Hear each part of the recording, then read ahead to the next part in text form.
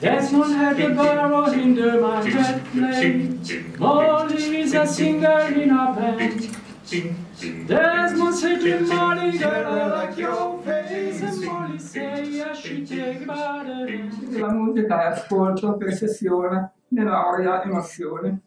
Perché quando ascoltiamo la nostra musica preferita, in questo studio dell'agosto 2014, si è visto che si modificano i collegamenti all'interno del nostro cervello e vanno ad attivarsi le regioni che in realtà non sono più tanto quelle dell'udito, ma quelle della memoria e delle emozioni. Per cui ognuno ha le sue preferenze musicali, ma alla fine l'area ultima che viene attivata è quella eh, delle emozioni, del proprio vissuto, e viene attivata sia che sentiamo Mozart, Beethoven eh, o Eminem o la Scorsi.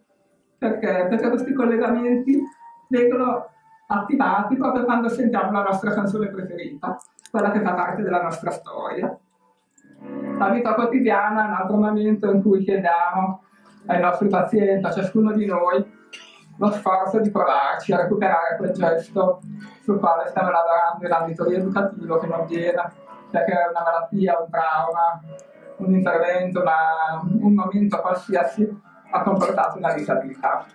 La fatica dell'apprendimento possiamo vederla veramente in tanti ambiti, in tanti ambiti che non sono solo gli apprendimenti scolastici, ma sono anche gli apprendimenti di strategia, apprendimenti che significano tutta la partecipazione della persona a quello che stiamo facendo, apprendimenti che passano attraverso l'errore, attraverso la ripetizione, attraverso sicuramente la fatica. Apprendimenti che passano tanto anche da una motivazione, la motivazione a superare se stessi.